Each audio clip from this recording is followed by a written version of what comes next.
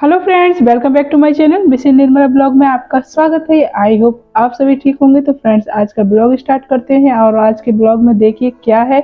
और जो भी चैनल पे न्यू हो तो प्लीज़ चैनल को सब्सक्राइब करें लाइक करें कमेंट्स करें और प्लीज़ ज़्यादा से ज़्यादा शेयर करें।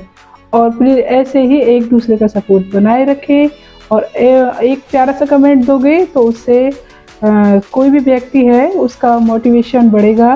और उससे ये है कि उसको प्रोत्साहन मिलेगा तो उस, उसको आगे बढ़ने की उसको मतलब क्षमता रहेगी। और ऐसे ही एक दूसरे का प्यार बनाते रहिए और ऐसे ही सपोर्ट करते रहिए और थैंक यू सो मच। तो ये हो रहा है सुबह का टाइम और हम मेरा मतलब झाड़ू पोछा तो मेरे हो चुके थे और ये है मेरी मेड और ये मैंने दीपावली की मिठाई नहीं दी थी तो अब दे रही हूँ उनको। तो मैं थैला देख रही थी, बड़ा वाला, कि उसमें रख के ले जाएँगी। और मैं उनका फेस नहीं दिखाना चाहती हूँ, क्योंकि उन्होंने मना कर रखा है। तो इस वजह से मैं फेस नहीं दिखा रही हूँ। और इनको मैंने दीपावली के लिए मिठाई अब दी है, और दीपावली के आने के बाद मैंने उनको एक सूट दिया था और पैसे दिए थे और मिठाई का डिब्बा। देखो, साल में एक बार दे देना चाहिए। वो काम करते हैं और उससे उनको खुशी भी मिलती है और हमको भी खुशी मिलती है कि हम छोटी सी उनको एक भेंट दे सकें और अच्छा भी लगता है। मेरी जो ये हैं बिल्कुल हम उम्र सी हैं मतलब हम उम्र नहीं, मेरी बहन सी हैं वो तो बहुत छोटी हैं, पर विचार जो है हम, मेरे और उनके बहुत मिलते हैं। तो उनको मैं कुछ कह भी देती हूँ तो कुछ कहती नहीं है और भाभी करती रहती हैं। और ये मैंने कैंडी बांधी है, शाम का टाइम हो रहा है लाइव के बाद का। और और आज बनेगा देसी स्टाइल में खाना तो आप देखिए तो ये मैंने प्याज काट रही हूँ। आज मैं सिलबट्टे पे पीस कर खाना बनाऊँगी। तो ये मैंने लहसुन ले लिया प्याज ले ली, जीरा, काली मिर्च और बड़ी इलायची, सूखा धनिया, साबुत। तो इनको पीस कर देसी स्टाइल में सब्ज़ी बनाएँगे। और पहले जब सिलोटी बटने से खाना बनाते थे ना, चाहे टमाटर हो या ना हो, इन्हीं मसालों से इतनी अच्छी सब्ज़ी बनती थी। बहुत ही अच्छी और इतनी खुशबू उड़ती थी बहुत ज़्यादा। और अब तो कितने भी डेकोरेट करके कैसे भी मसाले बना लें, कोई खुशबू नहीं। और मैं इनको पीस रही हूँ। तो बहुत दिन में मैंने सिलौटी बटना लिए हैं हाथ में तो मैं धीरे धीरे कोशिश कर रही हूँ पीसने की। पर मैं आखिरकार पीस ही लूँगी। और इसलिए मैं बैठ के पीस रही हूँ कि आसानी से पीस जाए। और सिलौटी बटनियाँ तो देखो नीचे ही बैठ के ही चलते हैं। और इनको पीस कर फिर मैं एक पेस्ट बनकर तैयार हो जाएगा और इसमें फिर मुझे कुछ डालने की ज़रूरत नहीं है। फिर डायरेक्ट तेल में डालकर ही इसकी सब्ज़ी बन जाएगी। तो आप देखिए मैं किस तरीके से आज आलू की सब्ज़ी बनाऊँगी। और आलू भी ऐसे बनाऊँगी सिर्फ़ छील कर न चाकू की ज़रूरत पड़ेगी, ना किसी चीज़ की। काटने की ज़रूरत ही नहीं है आलू को। सिर्फ़ छीलना है और छील कर ही बनाऊँगी। आप देखिए आगे कि मैं किस तरीके से बनाती हूँ। तो ये मैंने आलू छील लिए है, वो मेरा पेस्ट पिस कर रखा है, तैयार। और ये मैंने आलू छील लिए हैं कटर से। और कटर ने, कटर के बाद इसको इसको दो हिस्से कर लूँगी आलू के। और दो हिस्से कर कर और मैं इस बटने की सहायता से इनको इस तरीके से फोड़ूँगी, कच्चे ही।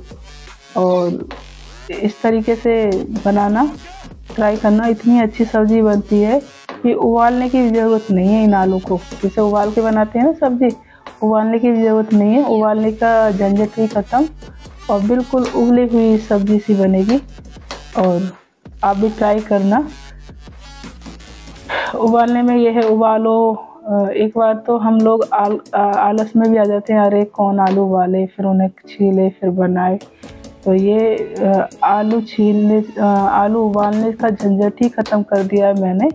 और सिर्फ़ इस तरीके से सिलौटी पर फोड़िए आलूओं को, कच्चे आलूओं को, और फिर बनाइए। और और फिर देखिए आगे मैं किस तरीके से बनाती हूँ। और इनको साथ के साथ ही फोड़े जब मसाला वगैरह तैयार हो, नहीं तो फिर वो लाल पड़ जाएँगे।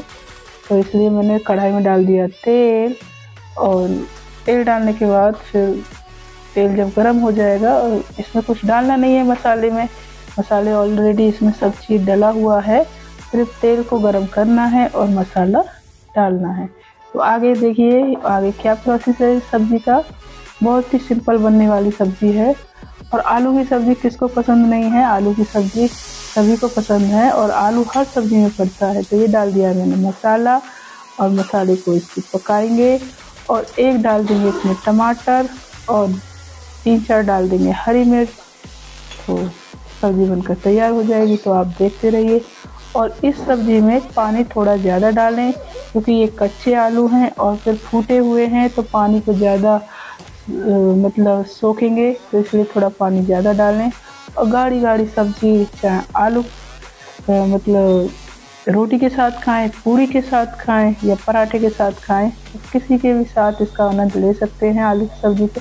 बिल्कुल ऐसी लग रही थी जब मैंने जब बनाई थी लास्ट में, जब बनी थी, जैसे भंडारे स्टाइल में जो गाढ़ी गाढ़ी सब्ज़ी होती है ना, ऐसी तो ये मैंने टमाटर और हरी मिर्च काट दी हैं और काटने के बाद इनको मैंने चला दिया। तो इनको टमाटरों को जब तक पकाएँ, जब तक ये बिल्कुल, ये मसाले पिचक के और बिल्कुल मसाले में मिला दें। और ये देखो इस तरीके से मैंने मिला दिए हैं। कितना अच्छा मसाला हो रहा है इतनी अच्छी महक उड़ रही थी।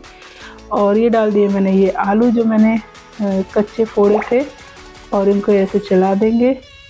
चलाने के बाद थोड़ी देर ऐसे ही चलाएँगे। वो थोड़ा मैं एडिट करने में थोड़ा सा काट देती हूँ, नहीं तो बहुत लंबा ब्लॉग हो जाएगा।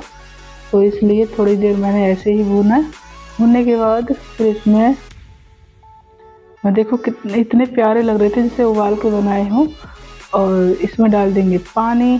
तो मैंने बताया था ना, पानी की मात्रा थोड़ा ज़्यादा करेंगे इसमें। और ज़्यादा करेंगे तो बहुत ही अच्छी बनेगी सब्ज़ी एकदम।